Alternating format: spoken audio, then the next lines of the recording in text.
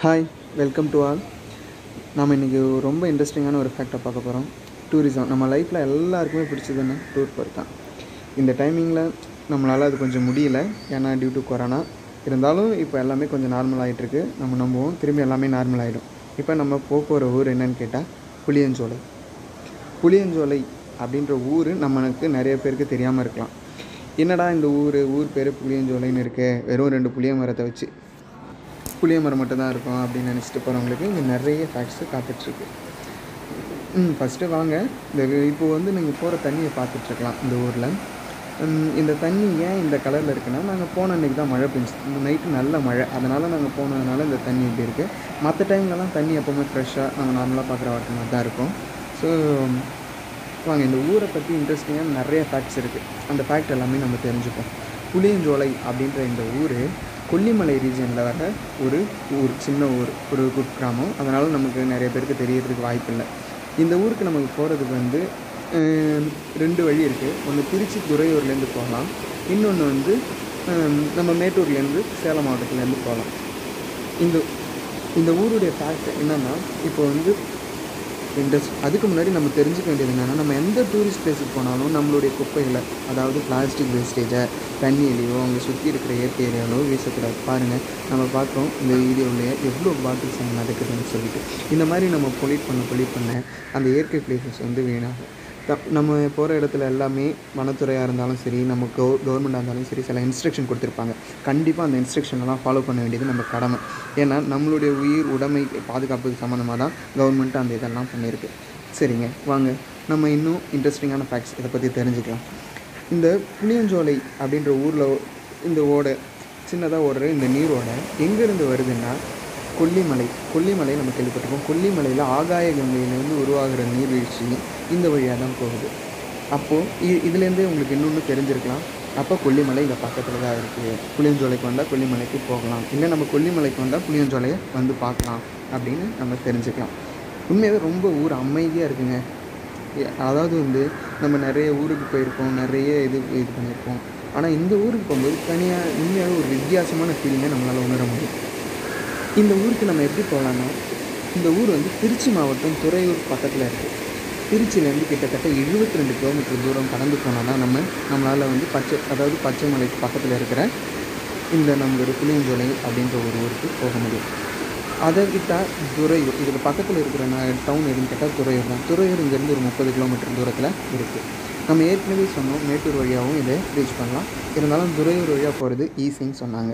அதுதான். நம்ம இப்போ பார்த்துட்ருக்கிறது வந்து ஒரு ரோடு போட்டுட்ருக்கிற ஒரு ஏரியாவை பார்த்துட்ருக்கோம் இந்த ரோடு எதுக்குன்னு கேட்டால் இந்த மலை மேலே இருக்கிற கிராமவாசிகள். அவங்க வந்து அவங்களுடைய இது ஃபுல் டைம் இதுவே வந்து விவசாயம் வேளாண்மை தான். அங்கே இருக்கிற பழங்கள் அங்கே விளைவிக்கிற காய்கறிகள் அந்த இதெல்லாம் எடுத்துகிட்டு வந்து கீழே விக் விற்கிறது அவங்களுடைய தொழில்.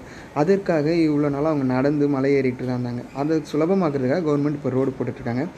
நம்மளும் வந்து மலை ஏறணும்னு முடிவு பண்ணிட்டா இந்த மாதிரி ஒத்தையடி பாதை வழியாக தான் ஏற முடியும்.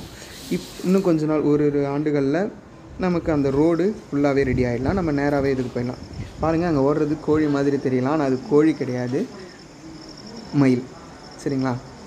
இங்கே வந்து மயில் அந்த மாதிரி நிறைய விலங்குகள்லாம் இருக்குது ஆனால் வந்து நமக்கு ஆபத்து விளைவிக்கிற மாதிரி பெரிய விலங்குகள் எதையும் நாங்கள் அங்கே பார்க்கல. இருந்தாலும் நம்ம வனப்பகுதிக்கு போகிறோம் அப்படின்னாலே கொஞ்சம் கவனமாக இருக்கணும். கொஞ்சன்றதை விட ரொம்ப க கவனமாக இருக்கணும். அங்கே என்னென்ன இருக்குது ஏது இருக்குன்றதை தெரியாமல் நம்ம அவசரப்பட்ட எல்லா இடத்துக்கும் போயிடக்கூடாது நாங்கள் சும்மா அந்த மலை ஏறலாம் அப்படின்றத ட்ரை பண்ணிட்டு போயிட்டுருக்கோம். இது அந்த ஒத்தையடி பாதை. நாங்கள் போன அன்னைக்கு மழை பெஞ்சிருக்கிறதுனால சுற்றி எல்லா இடத்துலையும் தண்ணியும் ஈரப்பதமாகவும் இருக்குது நல்லா பார்க்க நல்லா பார்க்கும்போதே உங்களுக்கு தெரியும். செடி எல்லாமே ரொம்ப பச்சையாக இருக்குது இருந்தாலும் இங்கே கால் வைக்கும்போது பார்த்து தான் வைக்கணும். ஏன்னு கேட்டால் நாங்கள் அந்த போன அந்த இதுக்கு முன்னாடி நாள் பெஞ்ச மழை அப்படியே சொத சொதன்னு ஈரமாக இருந்துட்டு இருந்துச்சு. மழை பெஞ்சதுன்றதெல்லாம் நாங்கள் பார்த்து கவனமாக போயிட்டுருக்கோம் இந்த ஊரில் இன்னொரு ஃபேக்ட் வெறும் நீரோடை மட்டும்தான் இருக்கா அப்படின்றத விட சோழர்களுடைய ஆட்சி காலத்தில் ஒரு முக்கியமான ஆர்கிடெக்சர் பகுதியாக இது இருந்துச்சு. இங்கே கட்டடக்கலை தனித்துவமான கட்டடக்கலை எல்லாமே இந்த ஊருக்கு சிறப்பு தான் இந்த கொல்லிமலை ரீஜனில் சோழர்களுடைய கட்டடக்கலை நிறையாவும் நம்ம பார்க்கலாம். இங்கே நிறைய சிவன் கோயில் சிவன் கோயில் எல்லாமே இருக்குது இங்கே நம்ம வந்து பு புளியஞ்சோலையில் ஒரு கோயில் அதாவது வந்து ரொம்ப ஃபேமஸாக ஒன்று சொல்கிறாங்க இது வந்து நம்ம ஊரில் இருக்கிற மாதிரி ஒரு கிராம தேவதையோடைய கோயில். இவங்க வந்து இங்கே இருக்கிற லோக்கல் அந்த கிராம மக்கள் வந்து இந்த கோயிலில் வழிபடுறாங்க. அது அவங்களுடைய கோயில். சரிங்களா? இருந்தாலும் இந்த ஊர் கோயிலில் இந்த ஊரில் வந்து குருவாயி அம்மன் கோயில் அப்படின்ற ஒரு கோயில் ஒன்று இருக்குது அந்த கோயிலை பற்றி நிறைய இன்ட்ரெஸ்டிங்கான ஃபேக்ட்ஸ் இருக்குது அங்கே போய் நம்ம கேட்டோம்னா அதை பற்றி நிறைய விஷயங்கள் சொன்னாங்க. என்னென்னு கேட்டால் நமக்கு எல்லாருக்குமே வந்து விநாயகர் வந்து யானை தலையாக இருக்கிறது அந்த இது என்னன்னு தெரியும். அந்த புராண கதைகள் எல்லாருக்குமே நமக்கு தெரியும். இருந்தாலும் யா இது விநாயகர் வந்து யானை தலை வர்றதுக்கு முன்னாடி எப்படி இருந்தார்? மனித தலையோடு இருந்தார்? அந்த மனித தலையோடு இருக்கிற விநாயகர் தான் இங்கே இருக்கிறதா சொல்கிறாங்க அதாவது வந்து சிவனுக்கும் விநாயகருக்கும் சண்டை வர்றதுக்கு முன்னாடி விநாயகர் வந்து மனித ரூபத்தில் இருந்தார் இல்லைங்களா? அந்த வரும் அதனால் இது வந்து ஆதி விநாயகர் அப்படின்னு கூட சொல்கிறாங்க சரிங்களா? சரி வாங்க. நம்ம டூரிஸ்ட் பிளேஸ் போவோம். இப்போ நாங்கள் பார்த்துட்டு அதான் அந்த ஒத்தையடி பாதையில் தண்ணி ஓடிட்டுருக்கு. ரொம்ப லேசாக அதுக்கப்புறம் இவ்வளோ தூரம் வந்துட்டோம். நம்ம வந்ததே இதுக்கு குளிக்கிறதுக்கு தான். இது கொல்லிமலையிலேருந்து உருவாகிற வீழ்ச்சின்றதால கண்டிப்பாக இதுலேயும் மூலிகை தண்ணி மூலிகை நிறைந்த வா நீர் தான் அப்படின்னு சொல்லி சொல்கிறாங்க ஏறக்குறைய மூலிகை நிறைந்த நீர் அப்படின்றத நம்ம ஏற்றுக்கணும் ஏன்னா சுற்றி எல்லாமே காடுகளாக கொல்லிமலை இது எல்லாமே இருக்குது இந்த வழியாக தான் நம்ம வந்து குளிக்கிற அந்த இடத்துக்கு போக முடியும். மழையோ அல்லது பனியோ அதிகமாக இருக்கும்போது நம்ம பார்த்து கவனமாக இருக்கணும். இங்கே தான் வந்து எல்லோரும் குளிக்கலாம் அப்படின்னு சொல்லிட்டு சொல்கிறாங்க அங்கே அந்த இடத்துல தான் நம்ம குளிக்கிறோம். எச்சரிக்கை போர்டு இருந்தாலோ இல்லை வேறு விதமான குறியீடுகள் அங்கே இருந்தாலோ அங்கே குளிக்கக்கூடாது அபாயம் அப்படின்னு இருந்தாலோ அதெல்லாம் நமக்கு கண்டிப்பாக கவனத்தில் கொள்ளணும். ஏன்னா அந்த இடத்துல என்ன இருக்குது ஏது இருக்குதுன்னு நமக்கு புதுசாக போகிறவங்களுக்கு நமக்கு தெரியாது. அந்த ஊர்க்காரங்களே அதெல்லாம் வேணான்னு சொல்லும்போது நம்ம போயிட்டு நம்மளுடைய சாகசங்கள் எல்லாம் அங்கே காமிக்கணும்னு அவசியம் கிடையாது. நம்ம போனது இயற்கையை ரசிக்கவும் சுற்றி பார்க்கணும் தான். ஸோ அதை மட்டும் நம்ம செய்யணும். சரிங்க வாங்க. எப்போவுமே நம்ம போகிறது எதுக்குன்னு கேட்டால் நம்மளுடைய ரிலாக்ஸேஷன் இந்த மாதிரி விஷயங்களுக்காக தான் போவோம். அங்கே போயிட்டு டைவ் அடித்து டைவ் அடிக்கிறது இல்லை குளிக்கிறது இல்லை சாகசமாக ஏதாவது ட்ரை பண்ணுறது அப்படின்னு ட்ரை பண்ணி நம்ம மீண்டும் மன அழுத்தத்துக்கு ஆளாகிறதை விட நம்ம எதுக்கு போகணுமோ அந்த வேலையை பார்க்குறது நல்ல விஷயம் தானே. பாருங்களேன் இயற்கைன்றது வந்து மிகப்பெரிய கொடை அதை ரசிக்கும் போது நம்மளோ நமக்குள்ளேயே வந்து ஒரு மாற்றம் இருக்கும்.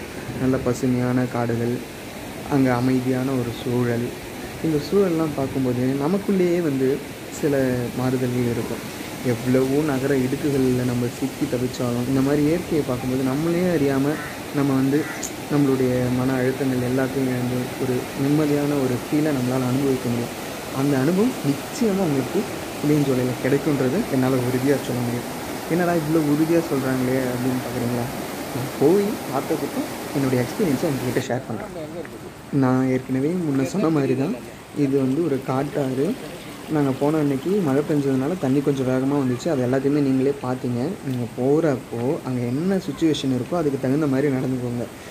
தண்ணி வேகமாக வந்தாலோ இல்லை இந்த பாறைகளில் நடக்கும்போதோ ரொம்ப கவனமாக இருக்கணும். ஏன்னா நம்ம போன சுற்றுலாவை நம்ம முழுசாக முழுமையாக அனுபவிச்சுட்டு வரணும். இன்னொரு முக்கியமான விஷயம் நீங்கள் பது புளியஞ்சோலையில் கவனிக்க வேண்டிய விஷயம் என்னென்னா இங்கே குரங்குகள் அதிகமாக இருக்கும். நீங்கள் ஏதாவது சாப்பிட்ற பொருளோ இல்லை வேறு ஏதாவது வச்சுருந்தா குரங்கு குரங்குகள் வந்து உங்ககிட்ட பிடுங்கிறதுக்கு ட்ரை பண்ணும். அப்போது நீங்கள் அதுங்கக்கிட்டேருந்து கொஞ்சம் கவனமாக இருக்கணும். குரங்குகள் மயிலை தவிர்த்து வேறு எதுவும் வயல் அனிமல் எதுவுமே இங்கே பெருசாக இல்லை. நீங்கள் நல்லா பார்த்தீங்கன்னா இங்கே தெரியும். இதோ அங்கே பாறைகள்லாம் இருக்குது இங்கே டைவ் அடிக்கிறாங்க அப்படின்னு சொல்லிட்டு நீங்களும் அதெல்லாம் ட்ரை பண்ணணும்னு அவசியம் கிடையாது. முடிஞ்ச வரையும் எவ்வளோ ஜாலியாக குளிச்சுட்டு போக முடியுமோ அவ்வளோ ஜாலியாக குளிச்சுட்டு போகிறத இது பண்ணுங்கள் ஏன்னா நமக்கு அந்த இடத்துல பாறை இருக்கா கல் இருக்கா அப்படின்னு நமக்கு தெரியாது. அதுக்காக நம்ம ஒருத்தொருத்தர்கிட்டே போய் சொல்ல முடியாது. நம்ம வியூவர்ஸ் நிச்சயமாக இதை ஃபாலோ பண்ணுங்கள் அதை தான் அதுக்காக தான் நம்ம இதை சொல்கிறோம் ஓகேங்களா இப்போ பாருங்கள் அந்த பாறையில் அபாயம்னு இருக்கும். எது எதனால் இந்த இடத்துல அபாயம்னு போட்டிருக்குன்னா அந்த இடத்துல ஆறு வந்து திரும்புகிற இடம். ஆறு வந்து திரும்புகிற இடம்னாலே நமக்கு நல்லா தெரியும். அந்த இடத்துல தண்ணி கொஞ்சம் வேகம் அதிகரிக்கும். வேகம் அதிகரிக்கும் போது சுழல் உருவாகும். அதனால் நம்ம அந்த மாதிரி இடங்கள்லாம் கவனமாக இருக்க வேண்டியது ரொம்ப ரொம்ப அவசியம். சரிங்களா? அதை எல்லாத்தையுமே நீங்கள் கவனத்தில் வச்சுக்கணும். ஏன்னா நமக்கு நம்ம எல்லாத்த விட நம்மளுடைய சந்தோஷம் ரொம்ப முக்கியம். சரிங்களா? அதை தொலைச்சிடக்கூடாது. சந்தோஷம் அப்படின்றது வந்து இயற்கையை ரசிக்கிறதுல தான் இயற்கையினுடைய வரம்புகளை மீறுறதுல இல்லை. எப்போவுமே இயற்கையோடு இணைந்து வாழ பழகிய மனிதன் வந்து சந்தோஷமாக தான் வாழ்ந்திருக்கான். அதாவது ஒகேனக்கல் போக முடியாது அப்படின்ற திருச்சி சைடு இருக்கிற மக்களுக்கு எல்லாருக்குமே இது ஒரு மினி ஒகேனக்கல் தான் சின்ன ஒகேனக்கல் தான். ஏழைகளின் ஊட்டி அப்படின்னு ஏற்காடு சொல்கிற மாதிரி இது ஏழைகளின் ஒகேனக்கல்னு கூட சொல்லலாம். அந்த அளவுக்கு சிறப்பாக இருக்குது இங்கே நீங்கள் எதிர்பார்க்குற மாதிரி பெரிய கடைகளோ ஒரு ஷாப்பிங் காம்ப்ளெக்ஸ் அந்த மாதிரி எதுவுமே இருக்காது. அதனால் வந்து நமக்கு தேவையான பொருட்களை எடுத்துகிட்டு போகலாம். ஆனால் நமக்கு சாப்பாட்டுக்கு சின்ன சின்ன கடைகள் கண்டிப்பாக இருக்குது இங்கே கிடைக்கிற சின்ன சின்ன மீன் வறுவல் எல்லாமே ஓரளவுக்கு நல்லாவே இருக்குது இருந்தாலும் நமக்கு என்ன தேவையோ அதை நம்ம கொஞ்சம் கொண்டு போகிறது நல்லது. இன்னும் ஒரு சிறப்பான விஷயம் என்னென்னா இங்கே நம்ம சாப்பிட்றதுக்கு என்னென்ன தேவையான பொருட்களோ அதெல்லாம் கொண்டு போயிட்டு அங்கேயே கூட நம்மளால் சமைச்சு சாப்பிட முடியும். ஏன்னா இந்த இடத்துல நிறைய விசாலமான இடங்கள் இருக்குது இங்கே போதிய அடிப்படை வசதியான அடிப்படை வசதிகளோ முறையான தங்குமிடமும் இல்லை. அதெல்லாம் இருந்துச்சுன்னா நிச்சயமாக இந்த சுற்றுலாத்தலம் இன்னும் மேன்மேலும் வளருன்றதில் எந்த ஒரு சந்தேகமும் இல்லை. நமக்கு ஓய்வு கிடைக்கும் போது எப்போயாவது உங்களுக்கு ஒரு ப்ரெசண்டான ஒரு இடத்துக்கு போனால் கண்டிப்பாக புளியஞ்சோலைக்கு போங்க.